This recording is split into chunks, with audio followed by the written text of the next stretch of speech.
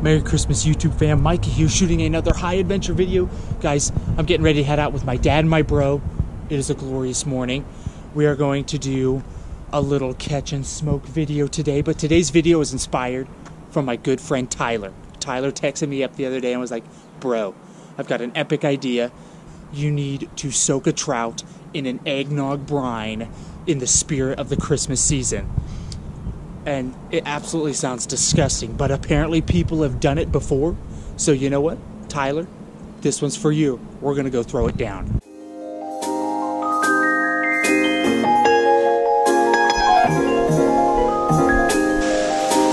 Look at this, super slippery.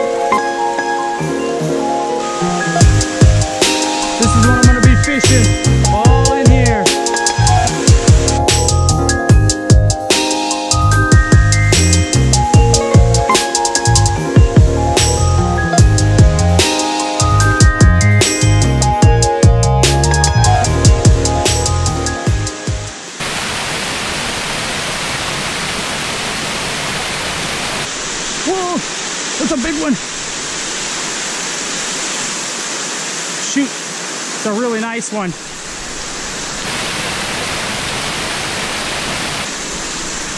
Yeah! Woohoo! Look at that! Look at that! We are going to be smoking some holiday fish this afternoon. Woohoo! Oh, he ate that thing. Look at that. That is a beautiful, beautiful trout. Woohoo! There's one. I need one more. Let's go see if there's another one in there. Let's give that a try.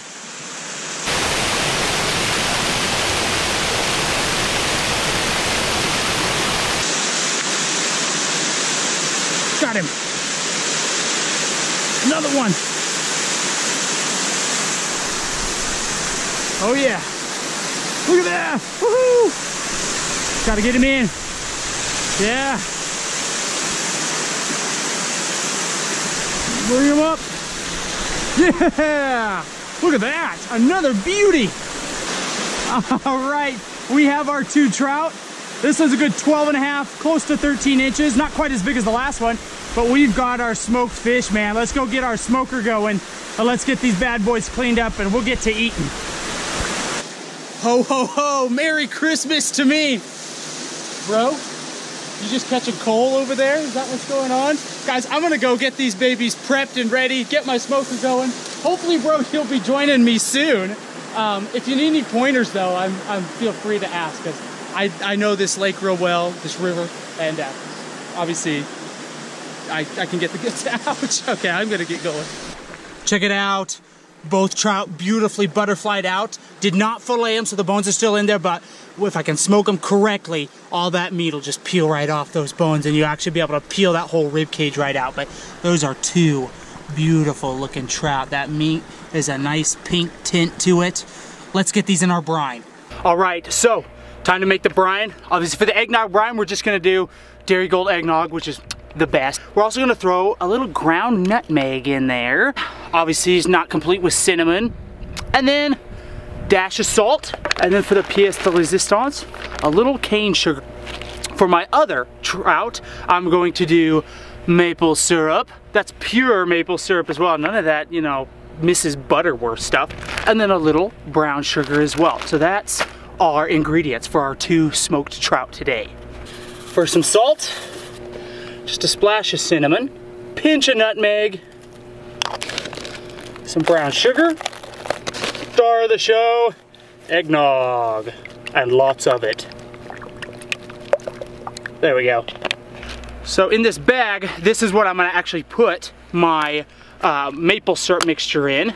So first we're gonna do a little pepper, a little salt as well, of the brown sugar. We're gonna go quite a bit of brown sugar in this bad boy. There we go. Our pure maple syrup. And lots of it. Mix it up all nice. Tyler, this is for you. Here they go. Heading into a nice Merry Christmas eggnog bath. Gotta get them all settled in there. Both pieces of meat dunked well in that eggnog. Now we're gonna put the lid on, let them sit for a good hour and a half, two hours. Our next filet is the bigger trout. He's gonna head right into our bag here of our maple syrup. I want that maple syrup all over the meat in there. All right, those fillets in there, all surrounded and sitting in that nice maple and brown sugar brine. Now we all we got to do is wait. So next I'm gonna get my smoker made. I've picked this spot right in here, kind of a nice little chimney area. Uh, I'm gonna pile up my rocks along the outside, kind of build it up a little bit, then put some little saplings over the top. We're gonna go cut some little saplings down and uh, some green grasses and just got a nice little cubby here going. Um, I've got my uh, burning cherry wood here, which is gonna I'm gonna use for smoking. Get a nice little Burma embers built up and uh, it's gonna be Merry Christmas, man. We're gonna cook up some trout for Santa.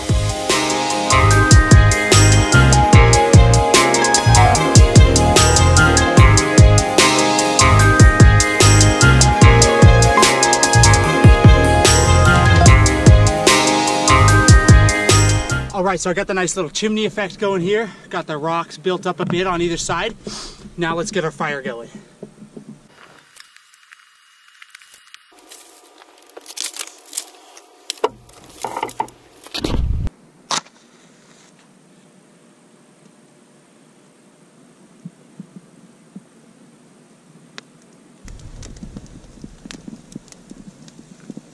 Smoking wood on here get this burned down. This stuff should burn real nice. Then I've got a little bit, little bit uh, wetter wood for when it comes time for smoking. That hasn't cured as much, uh, so we'll throw that on um, after a little bit here. Check this out, the old man. Look at that. What'd you catch him on, Pops? Uh, Dry Creek Outfitters Slicker Shad. Look at that. That's a beautiful looking That's bait right there. bait, yeah. That's a beautiful looking trout. That's a good 14 inches probably. Oh, yeah. Oh, yeah. That is fantastic. That'll taste good. Are you out fishing Ace as well? Yeah. Ooh, uh, you know what? He's got You know- a little time to catch it. You win some, you lose some. oh, I gotta give him a hard time. So I gotta cut down some of these saplings so I can build my smoker.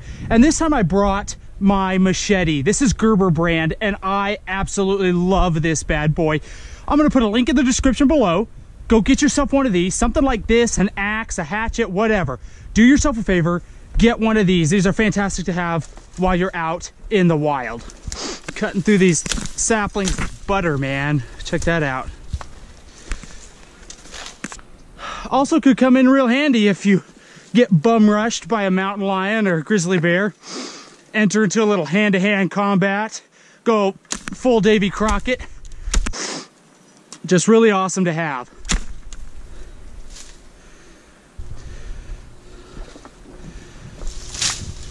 Awesome.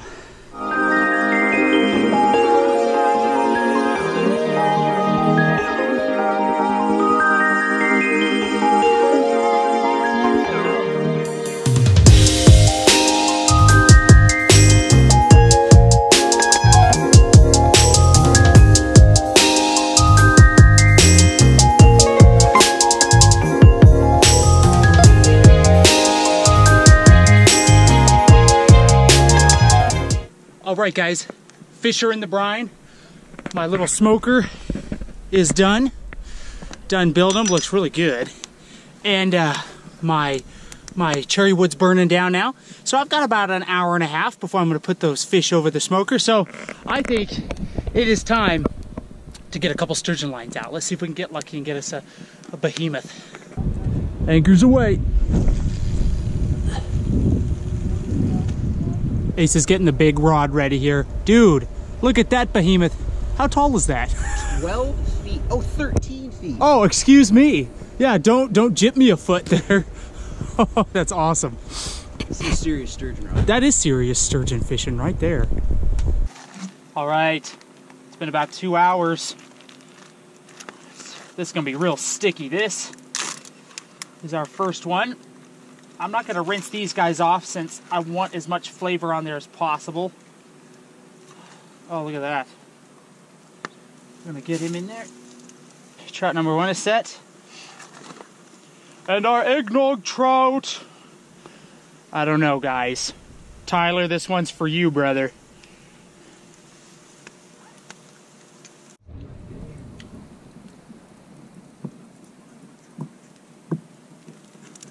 Ace is getting a bite.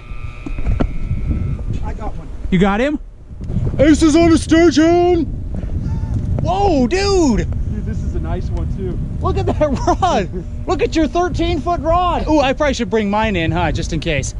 Do we need to strap you in? Yeah, I need to my sharks. Where? oh, wow. That is a long butted rod there. Look at that. Look at that. Look at that live action shot. Look at the intensity on that face. Look at that. That's intense. Ah, that's what I like.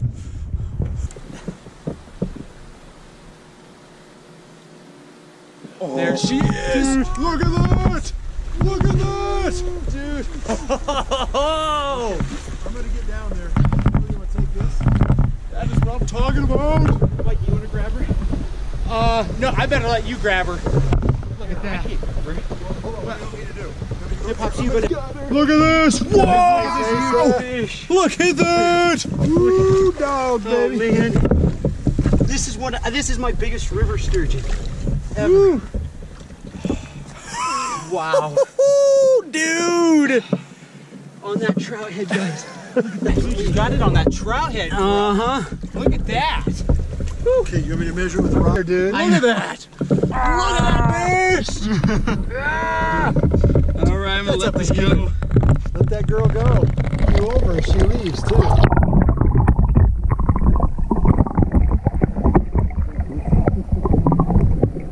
What? Nicely done. That was a team ever Brown. Yes, it was. Are you kidding me? Dude, nice bonus fish. I gotta get me one now, dang it. Let's check out what my brother's doing here for his cooking. Whoa, look at that. Bro, is that your hot wing sauce right there? That is. It's a hot trout. A hot trout. I use them to be tasty. Wow. Dude, I'm pretty sure that's burning my eyes. Holy man. Between our eggnog trout, uh, maple and brown sugar trout, and hot wing trout, dude. We I- got everything. We we've, we're running the whole gamut. The only thing we need is like a, well, no, your hot wings are the appetizer. We just need, uh, I don't know, a beer battered trout, I guess, for the for the drink.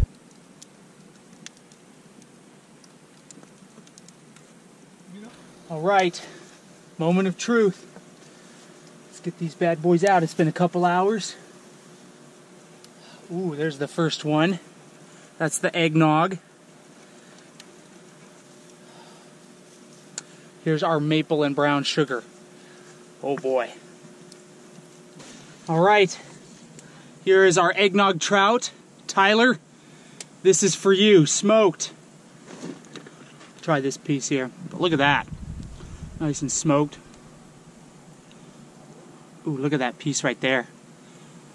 Eggnog trout.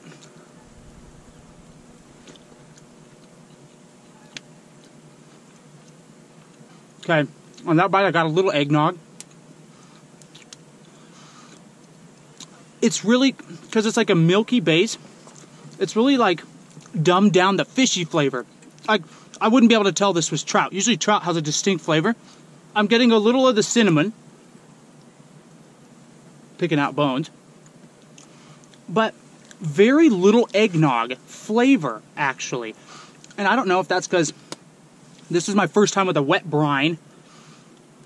Maybe I needed to soak it longer, maybe.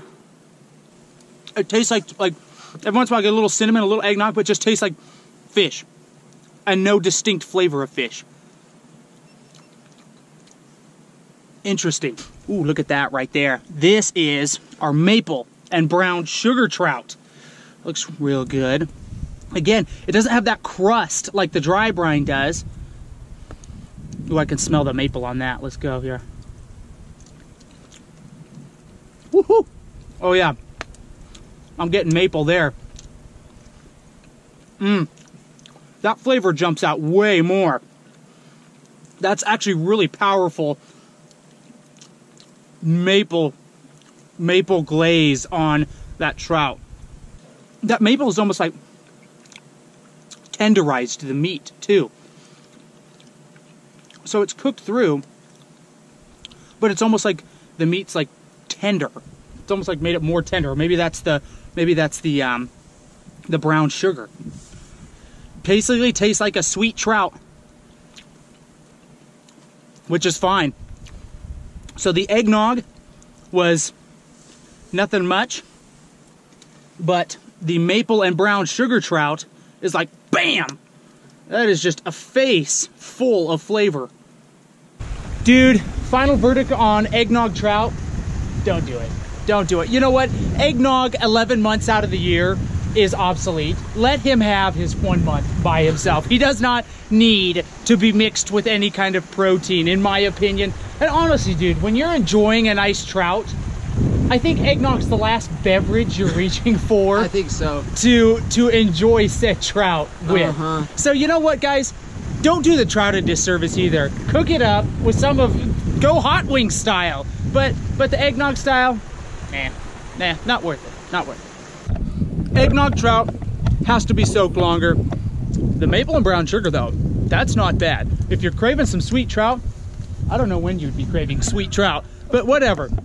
If you want some sweet trout, maple and brown sugar, fantastic recipe. Guys, thanks so much for hanging out with me today. We will catch you in the next video. And my smoker's about ready to get on fire, so I probably should go tend to that. So, guys, thanks so much.